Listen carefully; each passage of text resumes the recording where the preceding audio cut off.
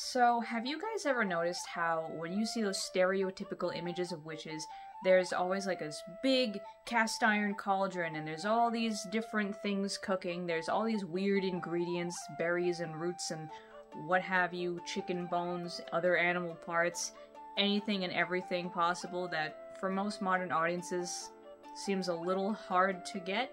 Especially then you see the bottles of like lizard's tongue and Eye of Newt and all those other kinds of funny little names. Because what a lot of these TV shows and, you know, depictions of witches won't tell you is that things like Eye of Newt or like other weird names like that are honestly just folk names of stuff we already know about. And in fact, you can find plenty of these folk names in Scott Cunningham's Encyclopedia of Magical Herbs. For instance, Pimpernel is also called things like Herb of Mary, Poor Man's Weatherglass, or the Shepherd's Weatherglass. It sounds pretty magical to have something called Poor Man's Weatherglass, I'm just saying. Another good one is Pennyroyal, actually, which was also called Organ Broth, Organ Tea, Lurk in the Ditch, or Mosquito Plant. The reality is, a lot of those mystical ingredients were just whatever a witch happened to have on hand. That is quite literally one of the fundamental pieces of witchcraft is accessibility. And that's why today I want to talk about forgetting the aesthetic and forgetting, you know, the things that look nice when it comes to cooking and focus on what just gets the job done. And that's mainly through canned and frozen vegetables. My biggest advice to any kitchen witches, especially as food prices keep growing, is to focus on just getting your staples in a shelf stable way. So, for instance, there are a lot of vegetables I normally buy fresh, like peppers, but there are also plenty of options to get peppers already pre-frozen. I often just kind of chop mine up and freeze them myself because I like to control the way that they are cut and what else is in them. But there are plenty of packages that actually do just have what you need right there. For instance, this package here of onions and peppers, this would be great for like any kinds of fajita nights and chicken taco bowls. Perfect. For me, this isn't something I buy because these longer strips aren't things I use that often. I prefer to dice and cube my vegetables, but it's still a great way to go because this four pound bag is the same price as like just four bell peppers. It's kind of wild. And even though things like onions tend not to be that expensive, that can still help you also with some kitchen prep because, you know, for chicken taco bowls, when you just kind of want to make that onion and pepper bean mix up, you literally just dump this in the pot. It's super easy.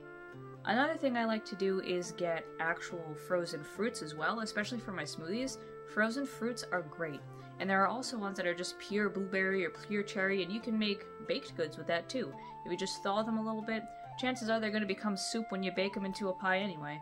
So if you just drain any extra water, probably will work all the same. But especially for things like smoothies or other cold items like that, they replace having to put actual ice in the blender because they themselves are already basically the ice. And it's a good way to get other fruits that otherwise you wouldn't really have much of a use for. Like, I don't buy fresh pineapple pretty much ever, but a tropical fruit blend? Hell yeah.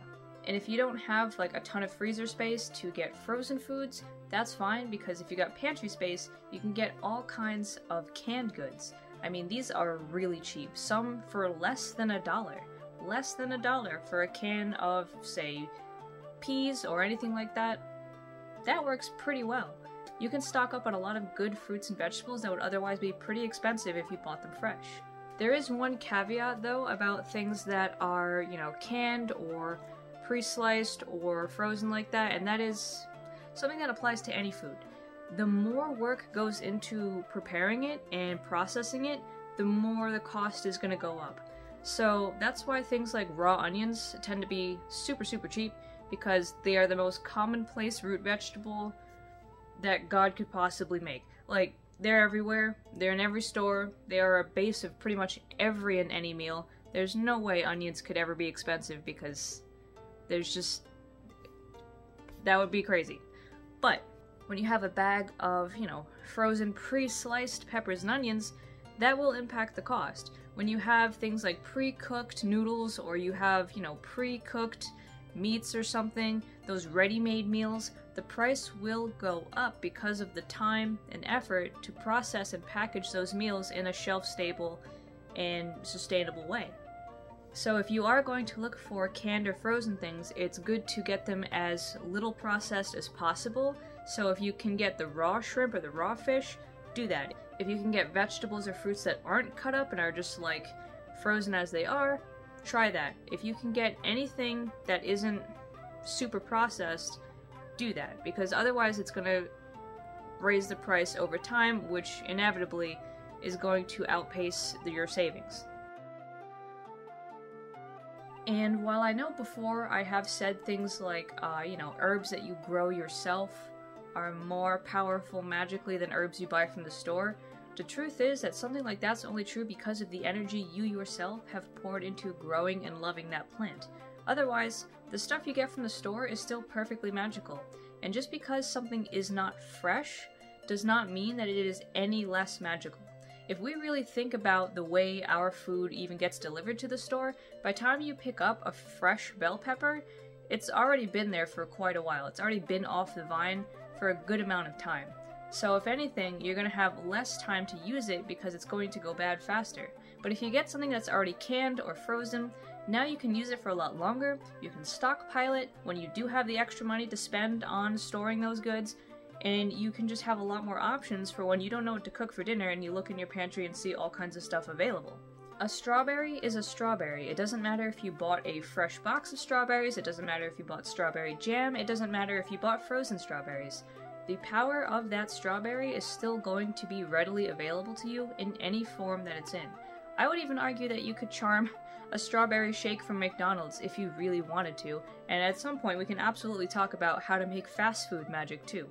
But when you are just trying to get some extra magic and some extra nutrients into your meals, you don't need to have the freshest herbs and the freshest produce.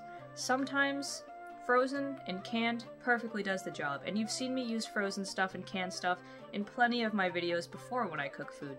It's just not reasonable or accessible or sustainable to demand that people always use the freshest, most you know, homegrown ingredients because not everyone has the space, not everyone has the time, and certainly not everyone has the cash to be shelling out for fresh produce, especially produce that isn't in season.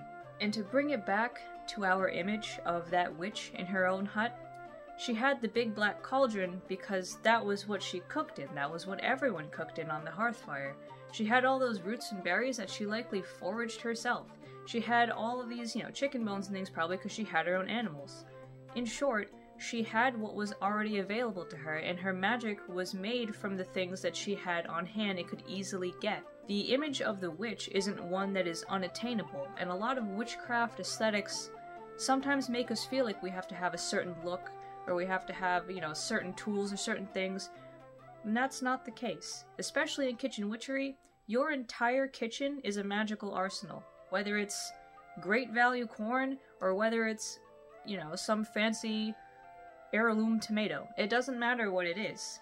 The fact that it is nourishing you, both mind, body, and yes, in spirit, is enough. And I know we'd all love to be those, you know, people on TikTok who make these beautiful cooking videos and use all of these very interesting and fancy ingredients, but at the end of the day, if you're just trying to feed yourself without really beating up your wallet, there is nothing less magical about taking the cost efficient and space efficient option. So, that is just a little grocery tip and a little discussion for you guys this week. Remember, everything that comes out of the ground is magic, even if it's been processed and packaged. And so, with all that said, I'll see you guys next week for another Making Meals Master Course episode. So, see ya! By the way, if you want to see these videos two weeks earlier, consider subscribing to my Patreon, where you not only get all these videos, but also recipe cards, uh, specific deity profiles, and lots of other interesting things to look at. Video tiers start at $10 a month, so definitely consider checking it out.